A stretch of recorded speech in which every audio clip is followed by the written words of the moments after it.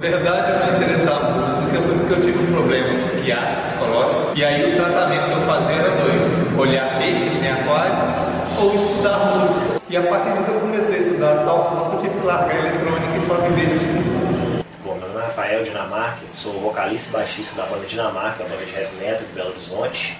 Música para mim já veio meio que do berço, é, desde pequeno.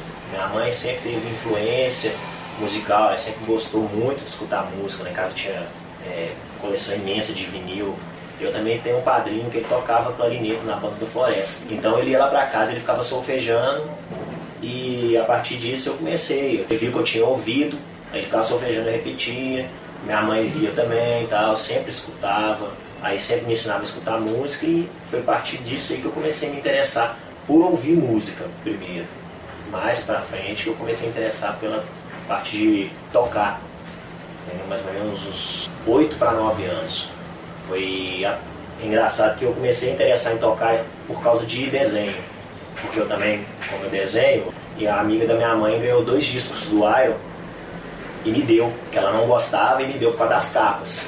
Aí eu escutei, naquele que eu escutei eu fiquei assim, nó, eu quero fazer isso. A partir desse momento eu comecei a falar, eu quero mexer com música. A minha rotina é música 24 horas por dia. Quando eu estudava na faculdade era uma média de 12 horas de estudo, de instrumento, fora as aulas na faculdade.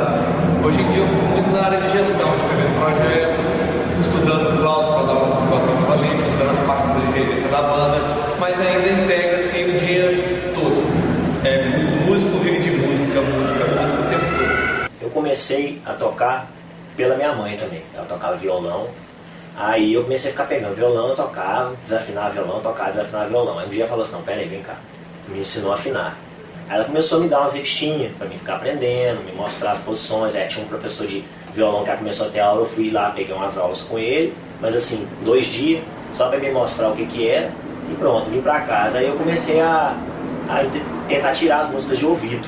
Eu escutava a música, ia lá no violão ficava tentando achar a nota. E naquela época, porque começo da década de 90, a gente não tinha acesso a vídeo, não tinha acesso a nada.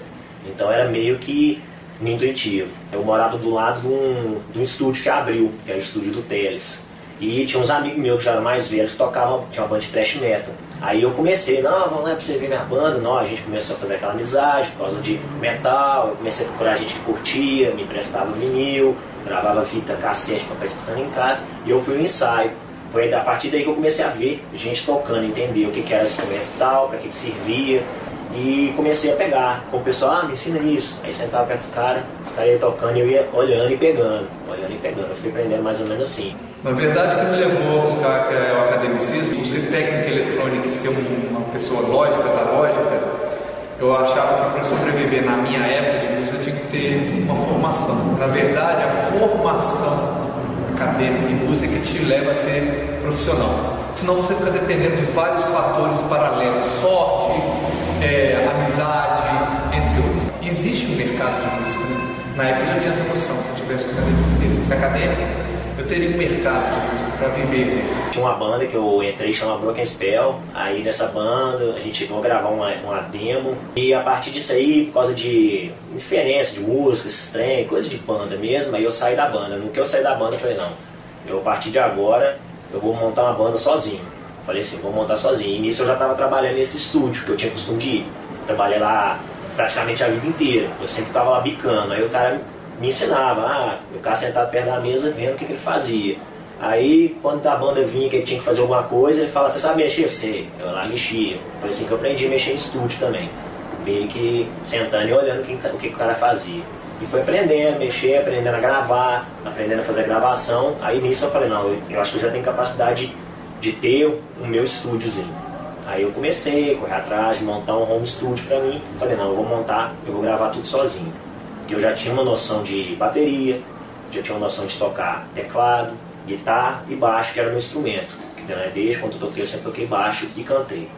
Aí, a partir disso, eu comecei a compor Aí gravava, arrumei meu primeiro computador, aí gravava mais ou menos as músicas, compondo e montando as músicas, e foi a partir disso que, que surgiu o Dinamarca.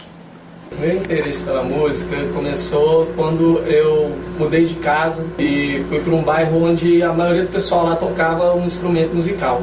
Aí eu comecei a conversar com os caras e tal, eles começaram a me apresentar algumas coisas, tipo Titãs, Paralamas, no violão mesmo. Eu falei, ah, beleza, vou começar a tocar violão. eu criei mais interesse, comecei a tocar guitarra, mas eu já tinha saído da aula, comecei a aprender sozinho. Eu conheci o Rafael, né, da Dinamarca, e ele me convidou a ir tocar com eles, que eles iam participar de um festival, de uma eliminatória. Entrei na banda e a gente está até hoje tocando. A ideia da história de lançar um livro na banda de Ravenna, ou seja, história e metodologia de uma banda, partiu do curso que eu já tinha feito de monografia da especialização em educação musical. Então surgiu o quê? A possibilidade de mostrar para todo mundo como é que eu trabalhei na banda, porque hoje em dia virou uma referência de como eu trabalhei em ensino educação musical na Ravena, e contar a história de quem produziu a banda. Porque a diferença da banda aqui é que a banda não é um maestro que fez, foi a comunidade inteira. Então daí que partiu a ideia de construir o livro para contar essa história que foi realizada pela antiga banda e pela nova.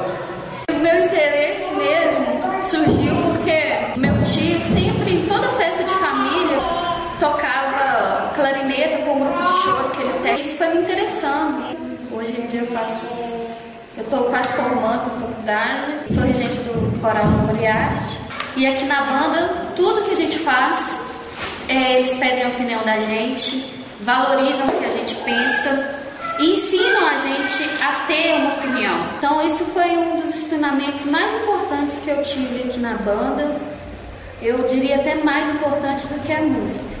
Ó, canto, eu estudei, na verdade, não foi nem por, por estudar, falar assim, não, tem que estudar música, alguma coisa, não. É porque quando com 17 anos eu tive calo nas, nas cordas vocais, nas duas, e eu fiz cirurgia, fiz fonoaudiologia durante dois anos, aí a partir do, do a fono falou, ó, a partir de agora você não tem mais nada para aprender comigo, você tem que ir para aula de canto. Aí uma, um amigo meu falou assim, não, cara, tô fazendo aula com um professor bom pra caramba, que ele ensina canto lírico. Aí eu falei, não, peraí, canto lírico é, parece ser mais objetivo do que eu preciso. E a partir disso eu comecei a estudar canto e também desenvolver por causa do problema que eu tive, né? Eu tinha que ir um, um pouco mais devagar porque eu não sabia a lesão. Graças a Deus não tive lesão nenhuma nas cordas vocais a ponto de não poder nem conversar ou não cantar mais. Todo mundo que quiser procurar uma formação musical, a primeira coisa que eu falo para ele é procurar uma escola séria. Além das próprias escolas como a FMG, o ENG e a Palácio das Artes, Fundação de Expressão Artística, existem outros grupos igual a Banda de Ravena, a Escola de Nova Lima, a Banda Dona Lúcia, são grupos musicais sérios que também preparam o aluno para o mercado de trabalho de música. Que a partir dali ele procura a academia. São exemplos de grupos sérios que se você entrar você já se prepara automaticamente para entrar numa academia de música. Academia seria uma faculdade de música. Para quem quer começar com música, eu acho que eu comecei de uma forma assim que alguns acham certo, outros acham, não acham certo. Tem muita gente que prefere começar estudando, partituras, negócio. Eu já sou meio que o contrário. Eu gosto primeiro começar praticando para depois ir para a parte técnica. Porque a parte técnica você pega depois. Entendeu? Agora a prática, ela te dá mais. Tipo você empolga mais, você quer fazer com mais vontade. Aí depois vem a parte teórica. A parte teórica nada mais nada menos serve para você registrar suas músicas, para você poder chegar em outro país e conversar com outro músico, porque você nem sabe a língua do cara, mas se você chegar com a partitura perto dele, ele vai te entender e você vai entender ele. Então assim, eu aconselho a tentar fazer as duas coisas junto, mas ir mais para a prática primeiro do que para a teoria. Eu acho assim, eu acho mais prático, entendeu? Então acho que é, é legal você saber, sim, é legal demais mas eu acho que eu, eu prefiro ir para a prática primeiro, depois para a teoria, porque eu acho que o resultado é mais objetivo.